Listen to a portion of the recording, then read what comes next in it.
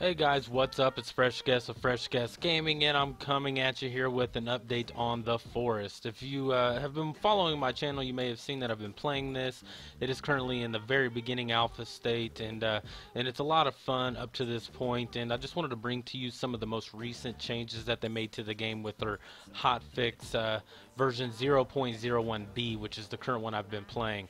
Um, you know, this was released on June 4th, so this was a few days ago. But some of you may not know exactly what they've changed.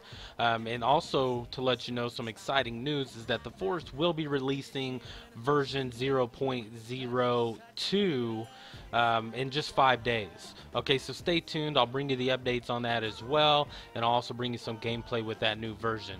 Okay, now as far as what they changed recently, uh, they just wanted to let everybody know that first, the Forest is on Steam, and they provided their first small update. Okay, and these are just some hot fixes of some things that they've noticed and uh, some suggestions that people have sent them to change. Okay, the first is that uh, the saving at small shelter now works, so whenever you sleep at your shelter, it'll now save. Fix the issue where the camera would spin during the plane crash if controller was plugged in. Fixed enemies sometimes disappearing after a few days. Improved uh, tree collision. Fixed log, log cabin floating. Fix some leaves not connected to trunk. Improve stuttering performance. Remove lights from blue cave creatures. Fix trees vanishing when exiting caves. Fixed bug where cave sounds could be heard above ground. Spelling mistake on shelter warmth and book. Improved collision in some cave areas. Fixed missing cliff detail texture. Ocean wouldn't lo uh, shouldn't lose render texture on start.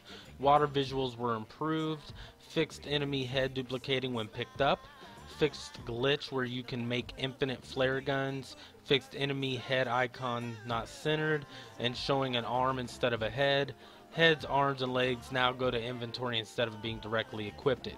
Okay, now I know that they fixed some of these things. Um, obviously, there's still a ton of things for them to add and fix. So if you see something while you're playing this game or while I'm playing the game, let me know and we can uh, send an email to support at endnightgame.com and then you can uh, suggest changes or, or, report bugs, things of that nature.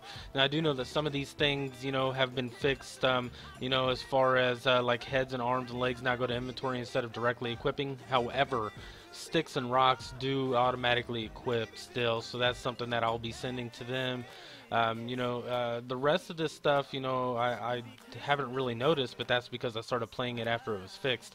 I know it says water visuals were improved, however, there were fish basically floating in air where I couldn't even tell there was water, so that's something that I'll also send to them. Um, spelling mistake on shelter warmth and book. There was also some uh, wording in the book that uh, wasn't quite right, and that's something that I'll send to them as well. Okay, so guys, thanks for tuning in. Again, this is just a quick uh, update on what uh, they're working on, or the most recent things that they worked on for the Forest uh, hotfix. Uh, again, version 0.01b.